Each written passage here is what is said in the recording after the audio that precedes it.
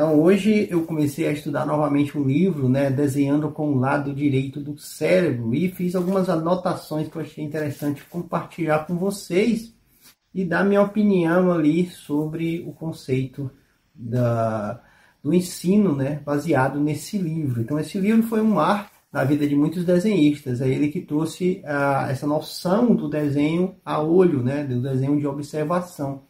E eu achei interessante porque eu estou sentindo, começando a sentir a necessidade de aprender mais o aspecto de desenhar por observação, né? Sem usar mesa de luz, sem usar decalque, sem usar grid, né? Sem usar o, o quadriculado, essas coisas, e sim desenhar a olho, né? Então eu estou cada vez mais estudando sobre esse assunto. E esse livro ele é um livro que foca muito sobre a, essa questão do aprender a ver para desenhar, né? Que o segredo do desenho está na visão muito mais do que na mão, está mais em você saber ver, saber enxergar. Inclusive um trecho que ela colocou aqui que diz assim, ela falou, falou assim, por que será que esses alunos que eu sei que estão desenvolvendo outras habilidades tem tanta dificuldade para aprender a desenhar uma coisa que está bem diante dos olhos deles. Ela escreveu essa frase depois que ela fez um experimento. Ela colocou ali na frente dos alunos uma natureza morta. Era uma fruta e um vaso. E a pessoa só tinha que desenhar a fruta na frente do vaso. E as pessoas não sabiam desenhar a fruta na frente do vaso. Desenhava a fruta e desenhava o vaso, mas não desenhava na frente do vaso não, não, não mantia a localização exata do desenho e ela ficava intrigada com aquilo e perguntava: Mas você não está vendo que a fruta está na frente do vaso? E a pessoa dizia: Eu estou vendo. Então, por que você não desenha? Eu estou vendo, mas eu não sei desenhar. Mas você sabe desenhar a fruta, você sabe desenhar o vaso, mas não sabe desenhar a fruta na frente do vaso. Então a pessoa estava tendo dificuldade de interpretar o que estava vendo e colocar no papel, né?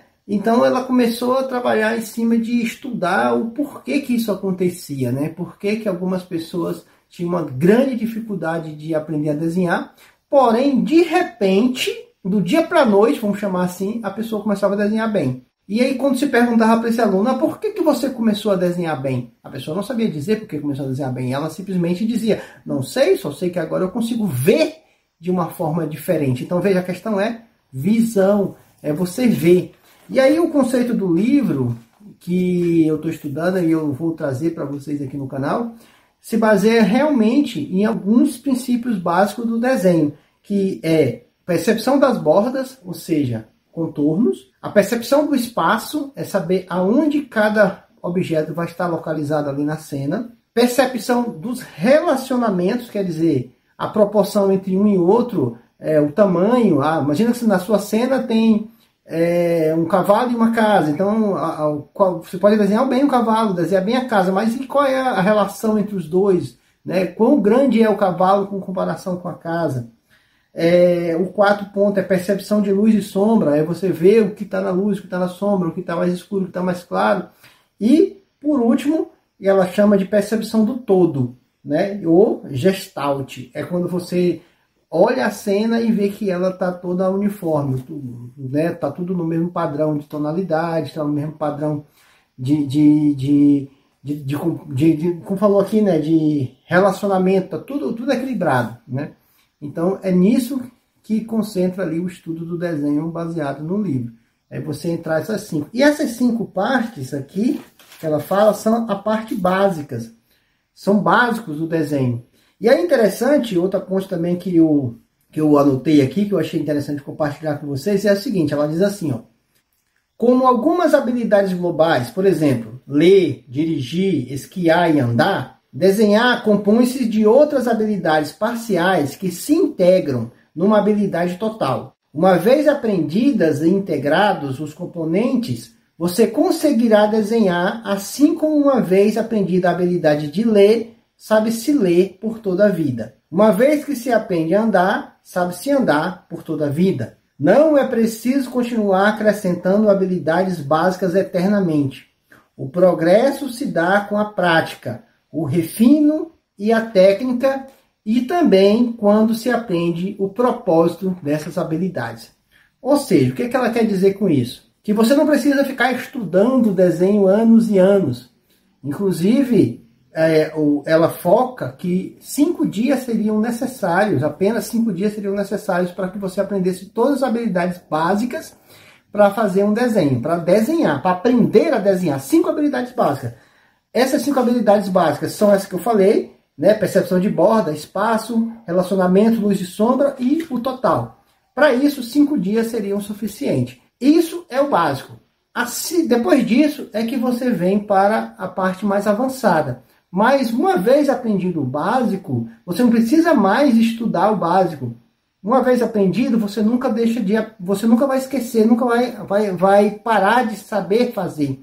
Aí deu um exemplo, como é, você lê. Você passou pela alfabetização, aprendeu as vogais, aprendeu as consoantes, aprendeu a formar sílabas, aprendeu a formar palavras, mas hoje você não precisa mais, nem lembra quando foi o tempo que você não sabia ler. Você simplesmente chega, pega um livro e lê. Da mesma forma, você vai chegar, pegar um papel e desenhar. Você não precisa mais ficar lembrando as partes básicas. Ah, qual é o, a borda desse desenho? Ah, qual é a relação desse desenho? Não, né? nada dessas partes básicas. Você tem que aprender isso apenas uma vez. Uma vez aprendido, vai ficar com você para sempre. Da mesma forma que você aprende a andar de bicicleta. Quando está aprendendo, você cai, você tem que levantar, você tem que treinar de novo, você cai.